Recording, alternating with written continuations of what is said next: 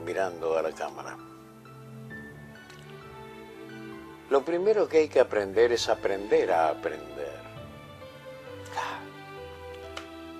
Yo he dejado esto como un legado, pero nada puedo enseñarles, solo puedo mostrarles. Eso sí, lo he hecho honestamente, profundamente, sentidamente, humanamente. Además, hay una razón por la cual yo acepté esta propuesta de los DVD. Acabo de cumplir 74 años. Me siento saludable, pero tengo conciencia del corto camino de vida que me queda. Obviamente.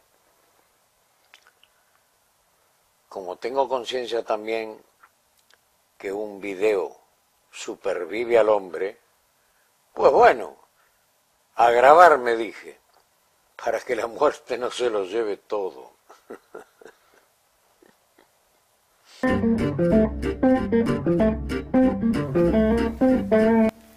Hola, hola, ¿qué tal? Bienvenidos a otro espacio de este rinconcito de Alquimagia, el lugar donde nos dedicamos a divagar con la imaginación y jugar un poco para distraer la mente.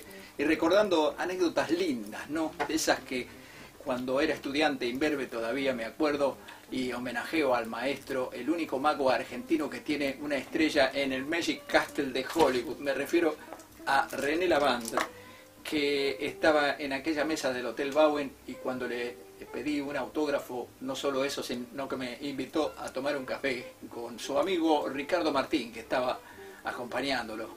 Y sacó un mazo, como estoy recordando en este momento, para compartir con ustedes aquella anécdota eh, de naipes eh, españoles, una baraja española, porque él solía usar eh, los naipes franceses, el lo de póker, ¿no es cierto?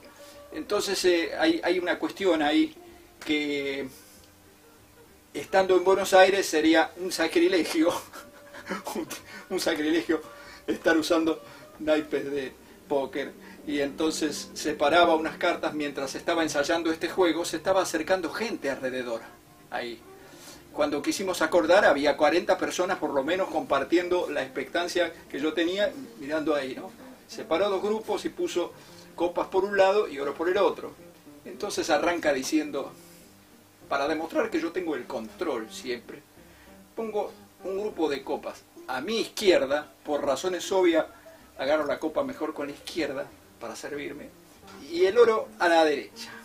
Entonces ponía los grupos así, y después, para verificar que tengo el control, primero, eh, ver que no se me haya colado alguna carta indeseada como ser un 7 de espadas que no tendría nada que hacer aquí, ¿no?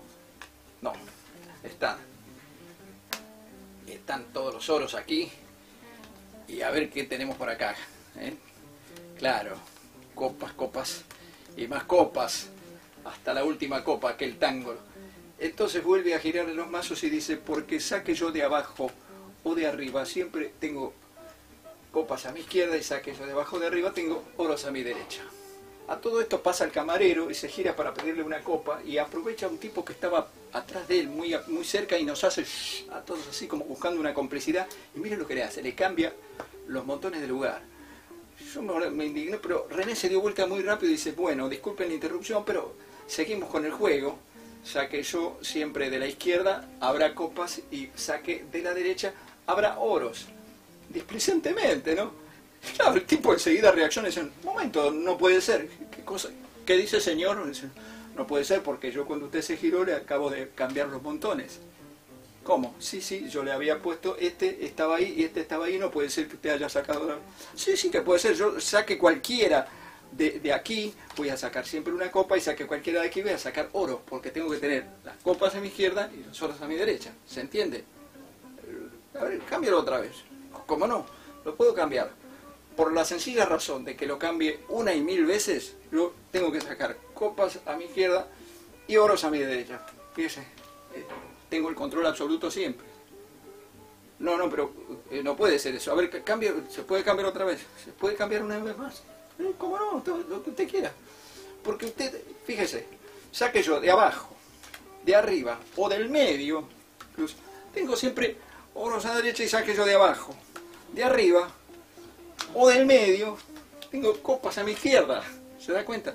No, no, usted lo que pasa es que las debe tener alternadas, le dice. Fíjese, discúlpeme, caballero, pero alternado me tiene usted a mí la paciencia. Porque siempre sacaré oros a mi derecha y copas a mi izquierda. ¿Entiende? Entonces ahí toma la copa a la salud de todos. La verdad, nunca supe cómo lo hacía. Hasta la próxima.